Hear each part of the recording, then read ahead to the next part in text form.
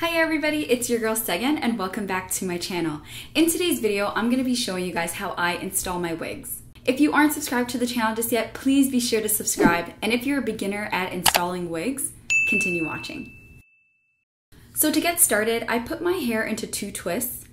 To make sure that my baby hairs are all slicked back, I like to use my brush and some edge control and slick the hairs down. The edge control that I'm using is by Curls and it's the Blueberry Bliss Control Paste, but you can use any edge control that you have at home.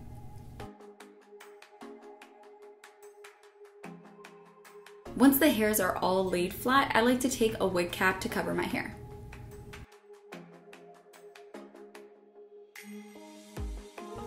And we're gonna be using this unit in today's video.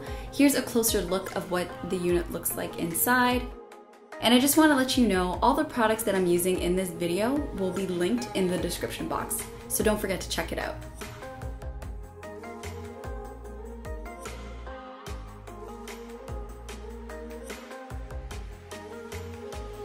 Before I get started with adding any glue, I like to measure out the wig on my head, just to make sure it fits comfortably.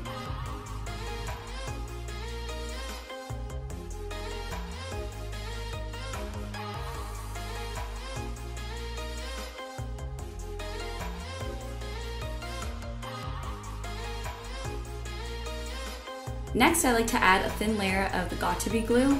I like to use the black bottle because the glue dries clear. And then I like to add a layer of the Got2b Freeze Spray as well. And those are the only two products I use to lay down my wigs.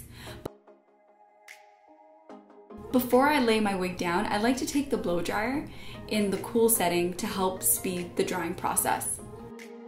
Once the glue is tacky, it's ready to be laid down. But here's a pro tip. If you're a beginner like me, I like to lay down my wigs in three sections. So I like to start off with my right side, and then I move over to my left side, and then I leave my middle part to last.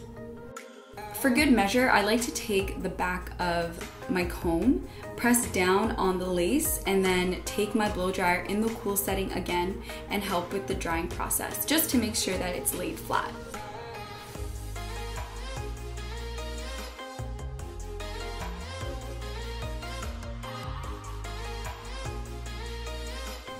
And like I mentioned, I'd like to repeat this process section by section.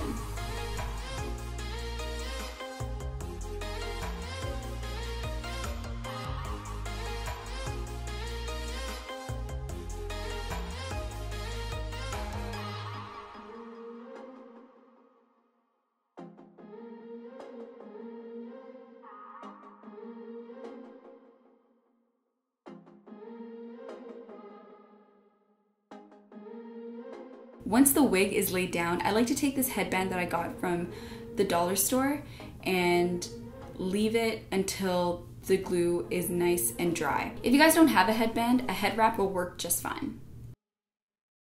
But before I put on some makeup, I like to remove any excess glue or hairspray with some toner.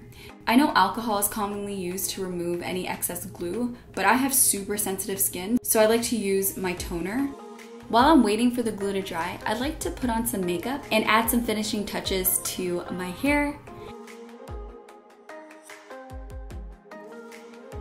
And that's the final look.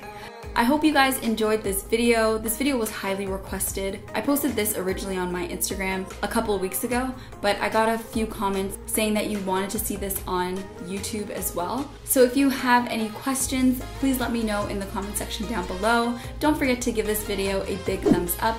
And if you aren't subscribed yet, please subscribe and I'll see you guys in my next video. Bye!